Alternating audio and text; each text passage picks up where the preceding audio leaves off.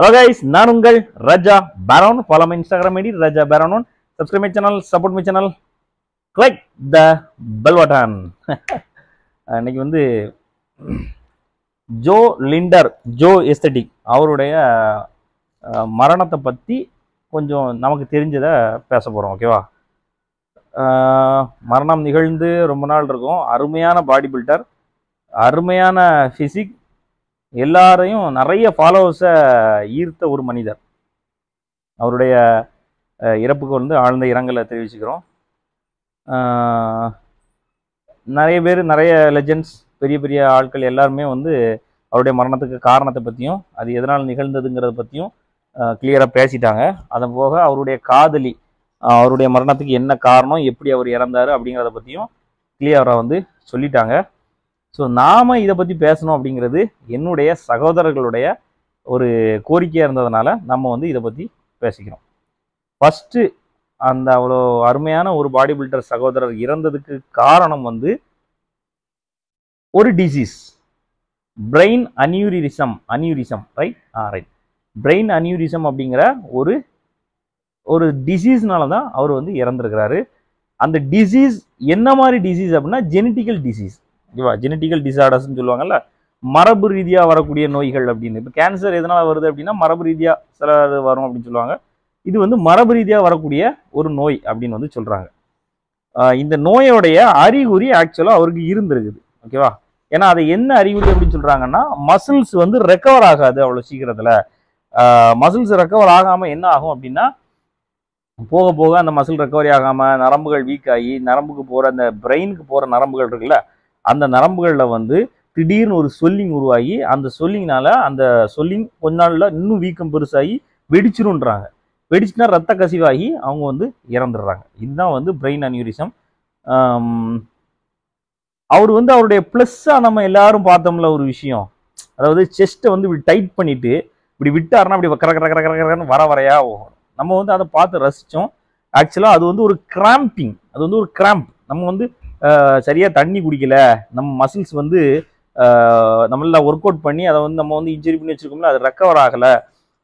ரொம்ப வந்து என்ன சொல்கிறது இன்ஜுரி ஆகி அப்படி இருக்குது ரெக்கவர் ஆகாமல் இருக்குது அப்படிங்கிற டைம்லையும் நிறைய தண்ணி குடிக்காத டைம்லையும் உருவாகிறது தான் இந்த கிராம்பிங் ஓகேவா அப்போ அவருக்கு வந்து எ- அந்த கிராம்பிங் உருவாகுது. லைட்டாக டைட் பண்ணிட்டு இது பண்ணும்போதே வருது. நார்மலாக நிறைய பேருக்கு அந்த கிராம்பிங் உருவாகும். எப்போ அப்படின்னா தண்ணி அதிகமாக குடிக்காத டைமும் இந்த ஒர்க் அவுட்னால மசில் வீக்காக இருக்கிற அந்த டைம் தான். அப்படி டைட் பண்ணிட்டு விட்டாங்கன்னா அப்படியே லாக் ஆகி நின்றுக்கிறோம் லாக் ஆகிட்டு அதை அப்படியே ரிலீஸ் பண்ணும்போது அப்படியே அப்படி இந்த என்ன சொல்றது? இந்த நம்ம வந்து சின்ன வயசுல ஒரு விஷயம் பண்ணுவோம் பார்த்துருக்கீங்களா அப்படி கையை இப்படி டைட் பண்ணிட்டு அதில் வந்து இந்த தவக்கலை இழுத்து விடுவோம். இழுத்து விட்டா அப்படி கிரு கிருக்குன்னு அப்படியே வரும்ல அப்ப என்ன வலி வலிக்கும்? அது செஞ்சவங்களுக்கு சின்ன வயசுல செஞ்சவங்களுக்கு தெரிஞ்சிருக்கும். அந்த மாதிரி ஒரு விஷயம்தான் அவருடைய பாடியில எப்பவுமே நடக்குது. நமக்கு எப்போவாச்சும் நடக்கும். அவருக்கு வந்து எப்பவுமே நடக்குது. ஓகேவா அது மட்டும் இல்லாமல் அப்டாமன் ஒர்க் அவுட் போட்டார்னா கிராம்ப் ஆயிருக்கும். அந்த வீடியோ நிறைய பேர் பார்த்துருப்பீங்க அவருக்கு. செஸ்ட் எப்போவுமே அவர் அந்த மாதிரி பண்ணுவார். அதையும் பார்த்துக்கிறோம் ஸோ அதுதான் அந்த அவருக்கு வந்து அந்த டிசீஸ் இருக்குல்ல அதனுடைய ஒரு ஒரு சின்ன பார்ட் ஆஃப் அந்த என்னது அறிகுறி அப்படின்னு வந்து சொல்கிறாங்க ஓகேவா அப்போது அவர் நிறைய நாள் அந்த கிராம்பிங் நம்ம கிராம்பிங்கை அதை அவர் காட்டும்போது ஜாலியாக பார்த்துட்டு இருந்திருப்போம். ஆக்சுவலாக அது அவருக்கு நல்லா வலிக்கும். அந்த வலியை அவர் அப்படியே தாங்கிட்டே இருந்திருக்கிறாரு. அந்த பிரெயின் அனியூரிசம்ங்கிறது அது சொல்லணும்ல அந்த மரபு ரீதியான நோய்கள் பெரிய அளவில் வெளியே தெரியாது. திடீர்னு வரும் திடீர்னு அது வந்து டெத் ஆயிரும். ஓகேவா ஸோ இதனால தான் அவருடைய டெத்தை தவிர அவர் வந்து ஸ்டெராய்டு எடுத்திருக்கிறாரா இல்லையா அப்படிங்கிறது கண்டிப்பாக எடுத்திருப்பாங்க. ஓகேவா ஏன்னா மசில்ஸ் அவ்வளோ அவ்வளோ நல்ல குவாலிட்டியான மசில்ஸ் இதெல்லாம் இருக்குது.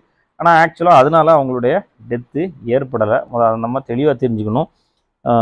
எல்லா பாடி பில்டர்ஸ் டெத்தும் வந்து ஸ்டெராய்டால் நடக்குதான்னா கிடையாது. ஸ்டெராய்டு யூஸ் பண்ணுற எத்தனையோ பெரிய பெரிய லெஜண்ட்ஸும் இன்றைக்கி நம்ம அவங்கள பார்த்துட்டு தான் இருக்கிறோம். அர்னால்டு சார் இருக்கிறார் எவ்வளோ பெரிய பெரிய லெஜண்ட்ஸ் இருக்கிறாங்க. சிலருக்கு வந்து சொல்ல முடியாமல் சில பிரச்சனைகள் உருவாயிரும். ஆனால் எப்போவுமே நான் சொல்கிறது ஓப்பனாக சொல்கிற ஒரு விஷயம் என்னென்னா பாடி பில்டிங் அப்படிங்கிறது யாருக்கு? கண்டிப்பாக நான் அது வந்து எனக்கு பண்ணியே ஆகணும். எனக்கு வந்து நிறைய காசு இருக்குது எனக்கு வந்து நிறைய எல்லா வகையான ஸ்பெசிலிட்டிஸும் இருக்குது அப்படிங்கிறவங்க வந்து பாடி பில்டிங் அப்படிங்கிறத தேர்ந்தெடுக்கலாம்.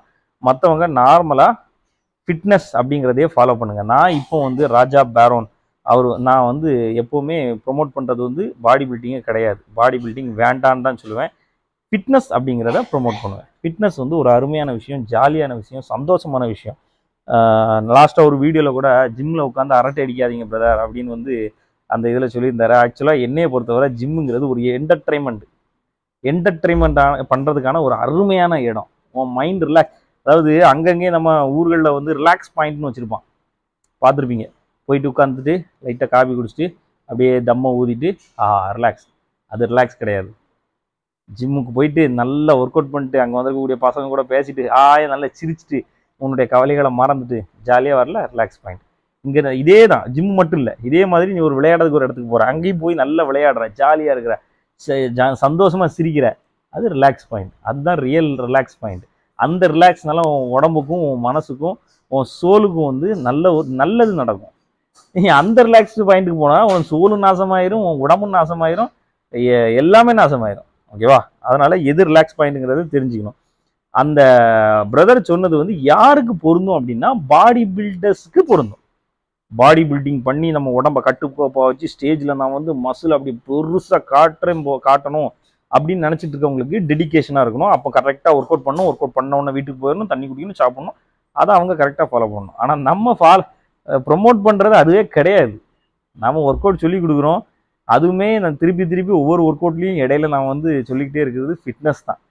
ஃபிட்னஸ் பண்ணுங்கள் பாடி பில்டிங் தேவையில்லாத விஷயம். ஓகேவா பாடி பில்டிங் பண்ணியே அதை நான் எல்லா ஃபெசிலிட்டியும் இருக்குதுன்னா பண்ணு. அந்த ஸ்போர்ட்ஸில் நான் வந்து ஜெயிச்சே ஆகணும்.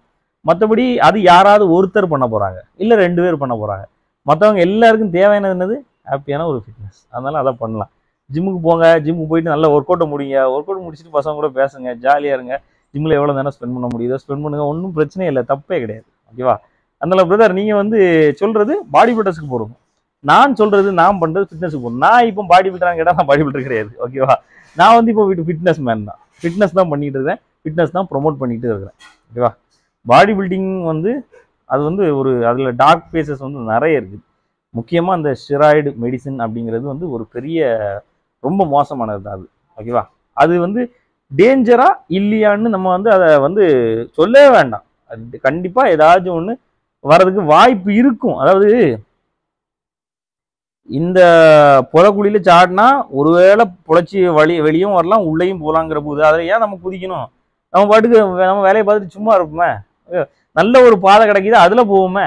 அதை விட்டுட்டு புதக்குழிக்கல சாடி சாடி தான் போவோம்னா அது செட் ஆகாதுல்ல. ஸோ அது நமக்கு தேவையில்லாது வேண்டாம். ஓகேவா அதை பண்ணுறவங்க பண்ணிட்டு போட்டு நமக்கு வேண்டாம்.